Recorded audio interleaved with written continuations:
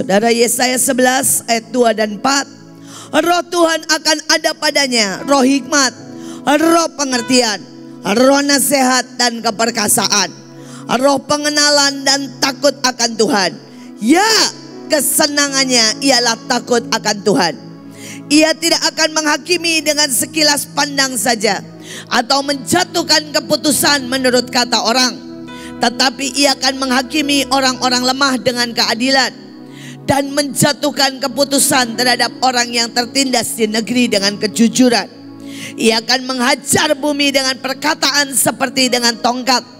Dengan nafas mulutnya, ia akan membunuh orang fasik.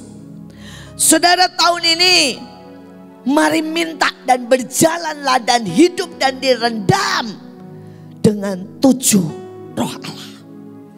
Sekali lagi tahun ini adalah divine years. Tahun keilahian. Dan saudara engkau hanya bisa menghadapi berkemenangan, menjadi sukses, menjadi ajaib.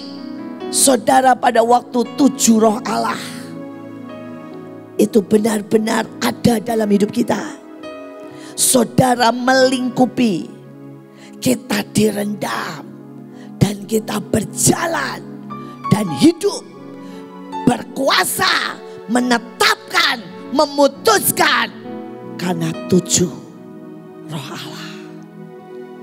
Saudara kalau saudara bangun pagi hari, saudara berkata Tuhan aku minta tujuh roh Allah. Nah saudara saya tidak bisa bahas satu-satu. Kalau bahas satu-satu nanti saudara lama. Saudara ya. Tapi saya mau berkata itu ada roh hikmat. Roh pengertian. Jadi mendadak saudara kan pintar. Mendadak saudara kan ngerti Tuhan. Ngerti orang. Ngerti diri sendiri. Saudara ngerti iblis ngerti musuh, tapi juga ngerti pemimpin.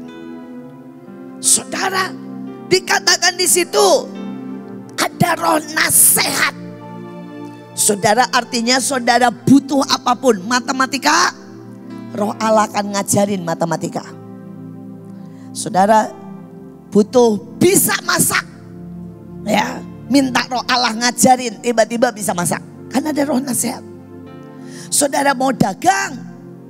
Saudara roh Tuhan ngajarin dagang. Saya pernah cerita berkali-kali sama saudara. Bahwa roh Tuhan itu benar-benar roh nasihat. Bisa ngajarin apa saja. Saudara selama saya sekolah. Dan saya kuliah saudara. Saya selalu tanya Tuhan. Dan setiap kali saya tanya Tuhan. Saya selalu juara bukan karena otak saya ini pintar, bukan. Saudara saya ini pelupa sekali. Soal muka lupa, nama lupa, tanggal lupa, tahun lupa, pelajaran lupa. Nah saudara bisa bayangin orang yang pelupa semuanya. Ya, kemarin saya berkata Levi dua bulan. Kata Pak Steve, bu nggak ada dua bulan. Dua minggu umurnya katanya ya. Saya ini apa aja lupa, apa aja salah saudara ya. Saudara dia bilang, saya bilang umurnya eh, lahir tahun 2000. Salah bu, 2001. Ya udahlah saya bilang ini, ayah kalau soal salah nama, salah tempat, salah hitungan, itu udah hobi saya bilang. Kenapa saya ini lupa, lupa semua. Saya ini bukan orang yang pintar, saya benar-benar orang parah, saudara. IQ saya ngepas. Tapi kenapa saya juara? Setiap kali saudara saya mau ulangan, saya ini bilang gini sama Tuhan, Tuhan besok yang keluar mana? Dan itu yang saya pelajari. Karena otak saya cuma cukup satu bab, nggak bisa bab lain. Dan itu yang keluar. Saudara, hari itu ini ujian mekanika. Makanya sampai hari ini orang tidak percaya kalau saya bisa membangun.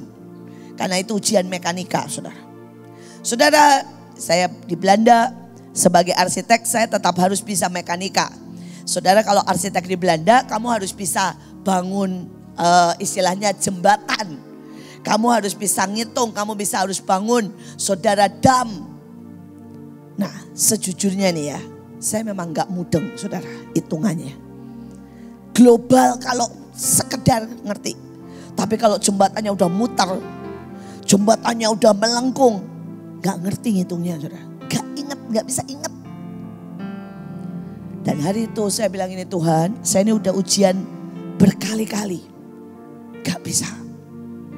Sekali lagi saya nanya Tuhan gimana? Tuhan bilang begini, cari ujian tahun sekian. Sebutin tahunnya. Saudara dan saya cari ujian tahun segitu. Dan Tuhan berkata, udah apalin persis. Saya apalin persis. Gak banyak, cuma lima soal. Jadi saya apalin persis sampai angka-angkanya semua saya apalin. Cuma lima soal. Saudara dan besok paginya saya ujian. Yang keluar persis itu. Lima soal. Itu pun masih beberapa lupa. Jadi dapat delapan. Seandainya saya benar-benar ingat. Saya sudah dapat sepuluh saudara.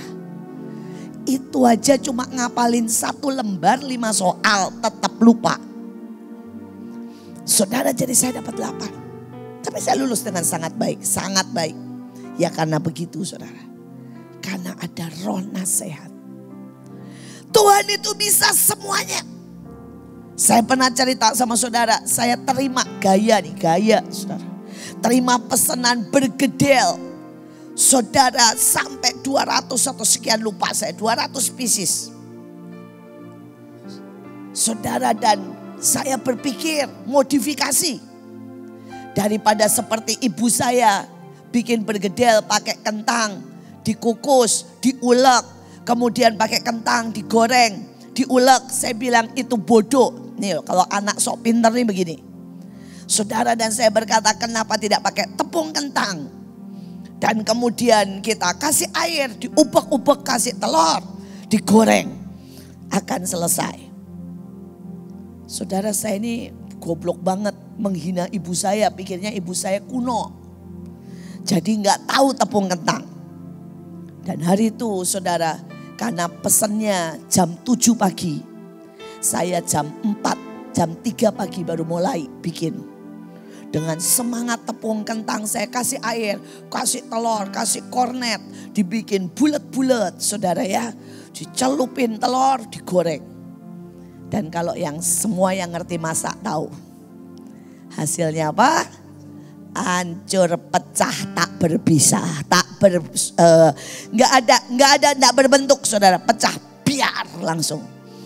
Jadi ibu saya bukannya kuno, ibu Iin goblok. Saudara sering kali banyak orang berpikir orang tuanya nggak ngerti ada beberapa hal yang kamu tidak tahu. Nah, hari itu saya nangis, saya bilang Tuhan supermarket gak ada yang buka. Saya gak tahu mesti bagaimana. Sekali lagi kita punya Tuhan. Nasihat. Malam itu jam 3 pagi bukan malam pagi Tuhan bilang begini. Kamu punya roti tawar, rendam susu, campurin di dalamnya. Kamu punya tepung tapioka, masukin di dalamnya dan Tuhan bilang kamu punya apa aja, ya tepung-tepungan masukin di dalamnya. Saudara dan saya lakukan itu, saya ambil roti tawar saya, saya rendam susu, saya hancurin masukin di dalamnya. Saudara dan saya goreng utuh. Laku dijual habis, tapi sebenarnya bukan bergedel, tapi roti goreng. Karena rasanya nggak bergedel sama sekali. Rasanya adalah roti goreng, bantet Saudara itu rasanya. Tapi habis dijual. Kenapa? Karena roh nasihat. Tahun ini saudara, apa pun yang kau hadapi. Tuhan gak butuh engkau pintar. Tuhan gak butuh engkau hebat. Tuhan gak butuh saudara ya. Engkau superior. Tapi Tuhan butuh engkau berjalan dengan dia. Tuhan butuh engkau mendengar. Tuhan butuh engkau melekat. Tuhan butuh kau berendam. Saudara ada yang ajaib di sini. Dia berkata, ia tidak menghakimi dengan sekilas pandang. Saudara, ada banyak orang menilai, memberikan pendapat, menghakimi diri sendiri ataupun orang lain dengan sekilas pandang. Beberapa dari saudara berkata gini, ah saya bodoh jadi saya nggak mungkin sukses. Ah saya miskin jadi sampai kapan pun saya miskin. Itu sekilas pandang. Saudara beberapa mungkin berkata, kata orang saya aneh dan saya percaya. Itu sekilas pandang. Saudara beberapa mungkin saudara berkata, itu pemimpin jahat gak suka sama saya. Karena setiap kali ketemu saya melotot. Itu sekilas pandang. Mungkin dia melotot karena berkata, wih ini anak luar biasa bisa kudidik. Saudara beberapa mungkin berkata, saudara, eh Ya, saya nggak punya apa-apa. Beberapa mungkin berkata seperti tadi, orang tua saya kuno. Itu sekilas pandang. Tapi tahun ini minta roh pengertian sampai apa yang di dalam itu bisa keluar semuanya. Maka kau akan tahu betapa ajaib, betapa hebat dahsyat kejadianmu setiap pribadi. Betapa luar biasa apa yang di dalam engkau yang Tuhan taruh. Saudara sampai hari ini setiap kali Tuhan terangkan satu demi satu hidup saya. Tangga, angka, orang tua, kejadian di mana saya ada. Saya berkata Tuhan kejadianku dahsyat.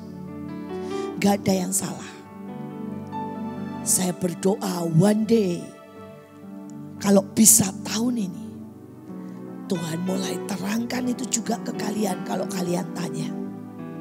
Dan kalian bisa berkata, wow kejadianku, hidupku, potensiku, pemimpinku, keluargaku, semua yang terbaik yang aku punya. Saya akan tutup dengan kesaksian bukan kesaksian, saudara cerita. Saudara ada seorang anak yang tinggal di Kalimantan. Saudara dan papahnya itu memelihara ikan arwana. Saudara papanya itu miskin banget. Papanya melihara ikan arwana. Setiap hari mesti cari cari jangkrik dan dia sering kali disuruh cari jangkrik buat kasih makan ikan arwana. Saudara dan dia benci banget. Saudara buat anak ini, saudara ya, ikan arwana yang dipelihara papahnya ini nyebelin banget, tidak berguna, bikin hidupnya susah, ngabisin uang dan bla bla bla bla bla. Pokoknya saudara. Saudara dan akhirnya singkat cerita hidupnya memang pas, miskin, gak kaya. Papanya ini hampir mati. Pada waktu papanya hampir mati, papanya berkata begini, nak jual foto tuh ikan arwana itu ya. Kemudian tawarin.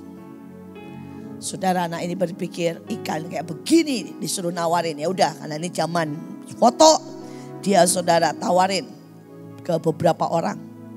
Saudara anaknya pulang bilang gini, "Pak, harganya 50 ribu." Papanya bilang, "Nak, kamu salah nawarin. Kamu tawarin ke tukang ikan yang gede di kota. Saudara akhirnya papanya pergi, eh anaknya pergi. Nawarin ke tukang ikan yang gede. Dan orangnya bilang, wow ini harganya 5 juta.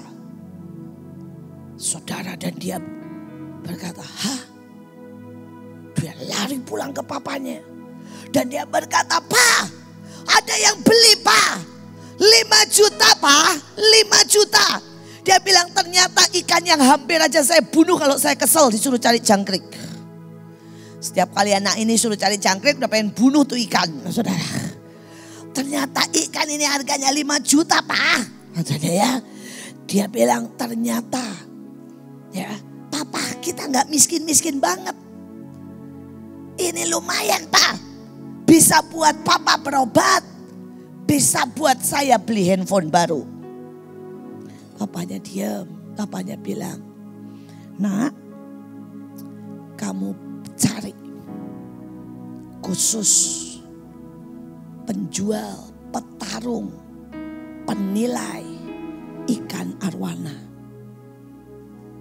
Dan kamu bawa fotonya. Saudara dan pada waktu dia cari, akhirnya dia temukan tempat penjual tukang ikan arwana ditunjukin saudara. Dan orangnya bilang, di mana? Saya beli 800 juta.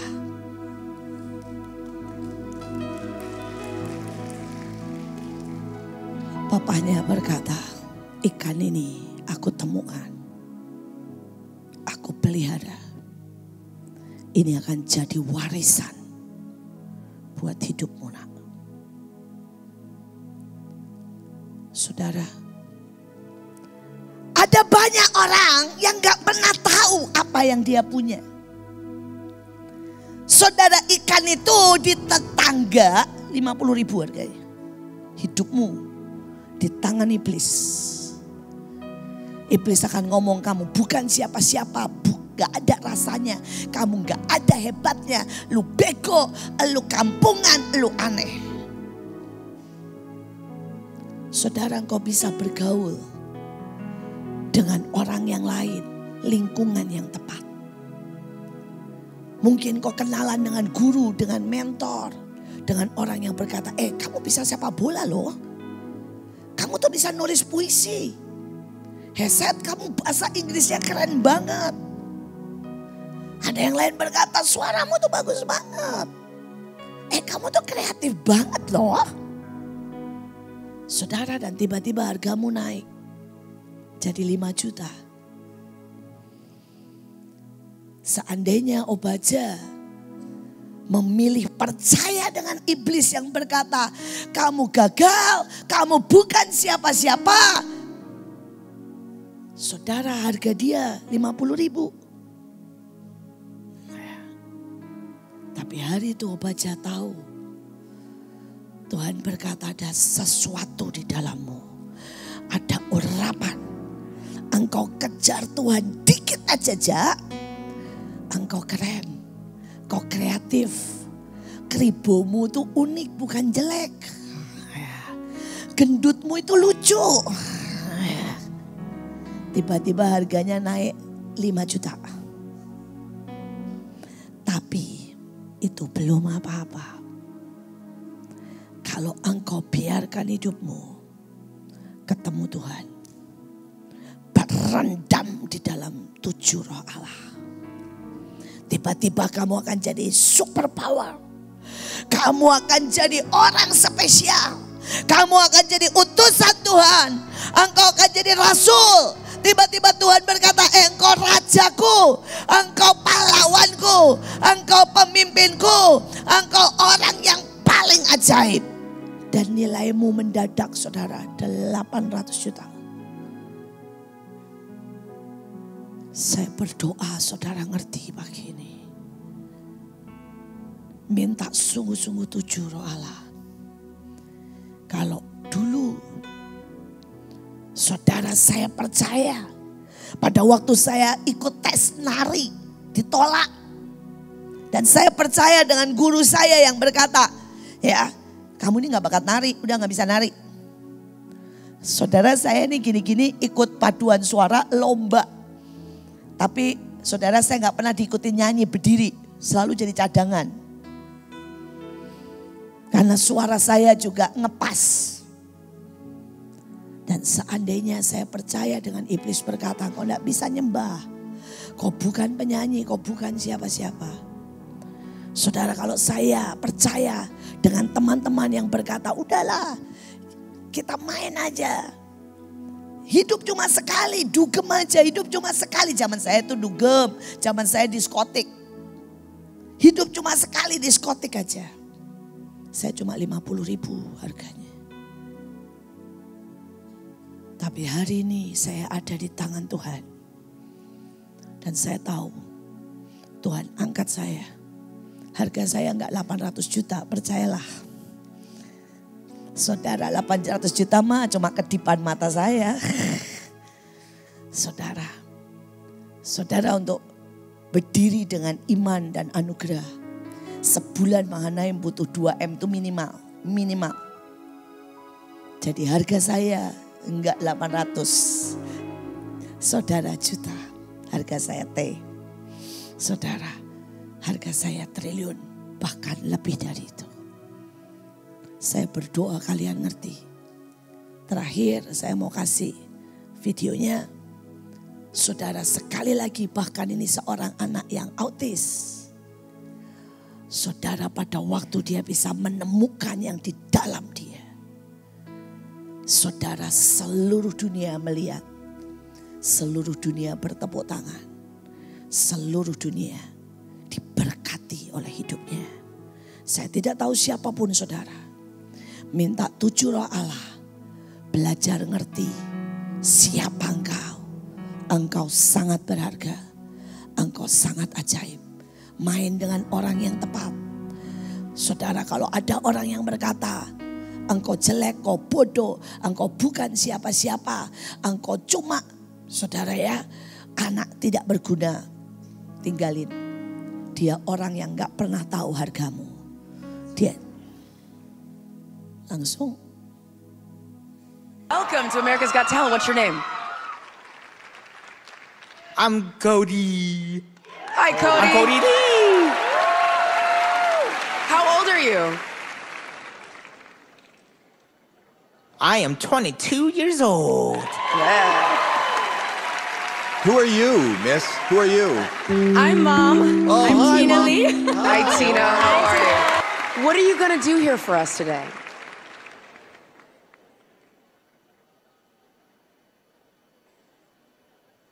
I'm gonna sing a song for you on the piano. I love it. Tina, tell us a little bit about Cody.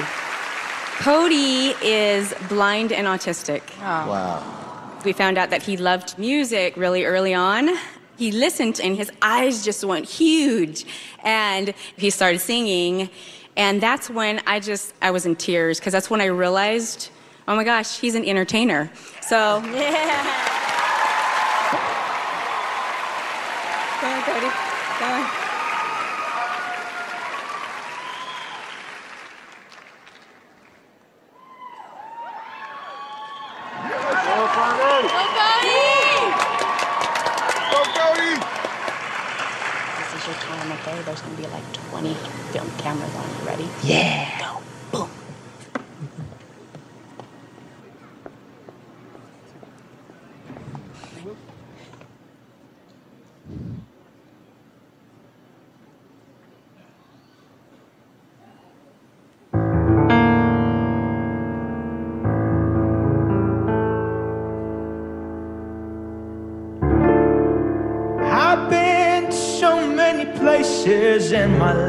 And time.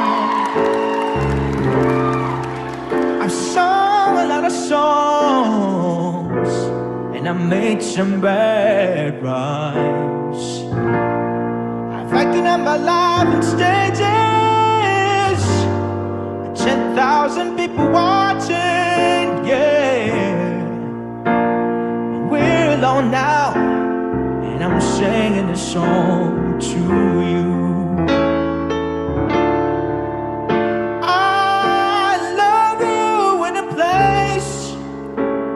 There's no space or time. I love you from my life. You're a friend of mine. But when my life is over,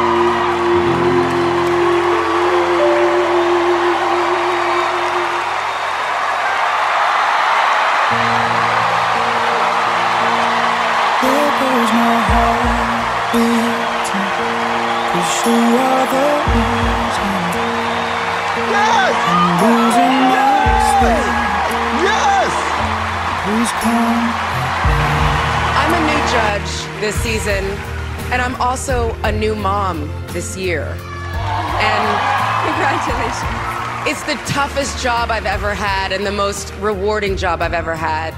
You just want to give your kids the moon, the stars, and the rainbows. And tonight, I'm gonna give you something special.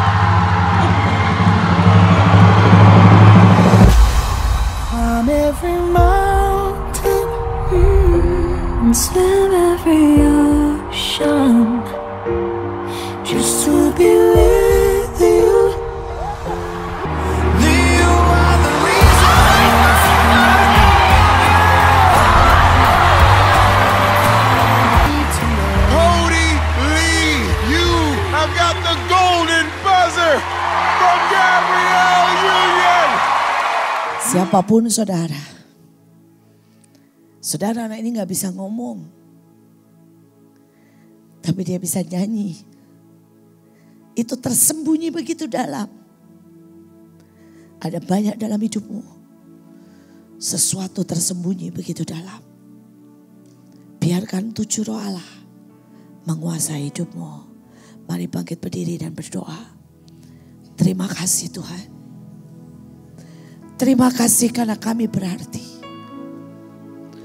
Terima kasih karena kami sangat berharga. Terima kasih karena setiap hidup kami Tuhan. Itu sangat-sangat Tuhan. Kau rancang dengan detail. Kau ciptakan dengan sempurna. Kau taruh kekuatan, kedahsyatan, keajaiban, kesempurnaan. Kau taruh mandat, kau taruh Tuhan rencanamu. Kau taruh blueprint yang sangat ajaib. Tuhan seberapapun orang berkata. Dan suara yang kami dengar. Buat kami hari-hari ini mendengar suara yang benar. Buat kami mengerti sedalam apa, sebesar apa, sedahsyat apa Engkau rencanakan buat kami. Pagi hari ini Tuhan, hamba berdoa setiap kami mencapai destiny. Membongkar setiap emas kemuliaan yang ada dalam hidup kami. Tujuh roh Allah mengaktifkan, membangkitkan, membuat kami menjadi sangat ajaib dan supranatural. Hamba berdoa tahun ini akan menjadi tahun kemuliaan. Tahun kami menemukan keajaiban, kebesaran, anugerah. Waktu kami berjalan dengan Engkau. Dengan Tuhan. Kedahsyatan dan semua yang kau sediakan buat kami. Tujuh roh Allah, roh nasihat, roh pengertian, roh keperkasaan, roh keajaiban. Semua turun dalam hidup kami. Terima kasih Tuhan. Terima kasih. Mari katakan sungguh ajaib.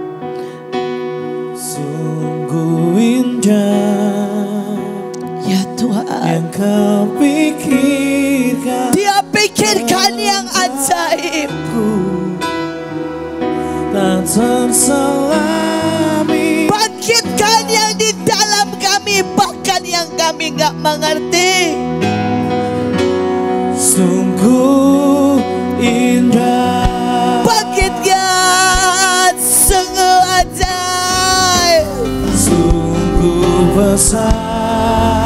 Anak-anak boleh kembali ke kelasmu. Dan engkau tahu ada yang sangat besar. Sangat ajaib dalam hidupmu.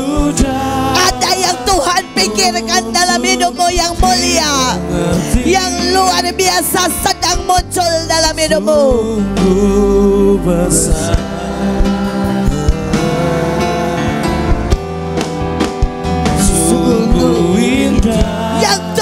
pikirkan tentangku Tiada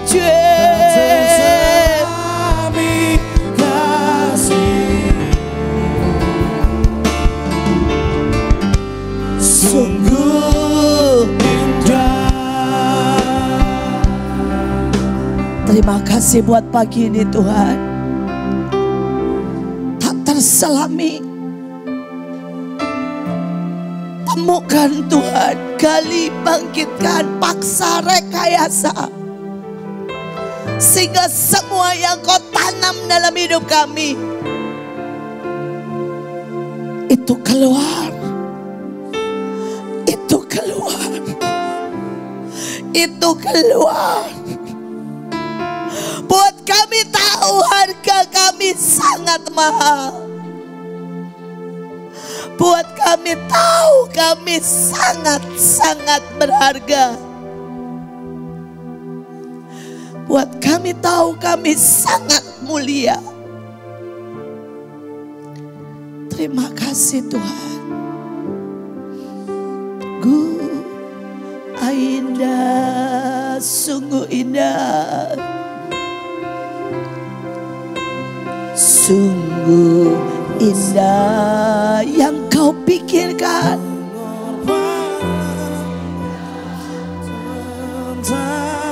Dia melihat dengan cinta. Dia rancang dengan kebaikan. Sungguh Indah. Sekali lagi sungguh Katakan dengan iman. Sungguh indah Buat dirimu, buat dirimu. kau pikir. Tidak ada yang bisa berkata kau jelek, engkau bodoh. Tak terselami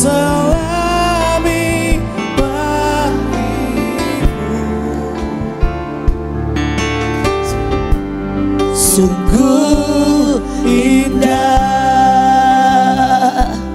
Terima kasih Tuhan Terima kasih buat pagi ini. Dalam nama Yesus.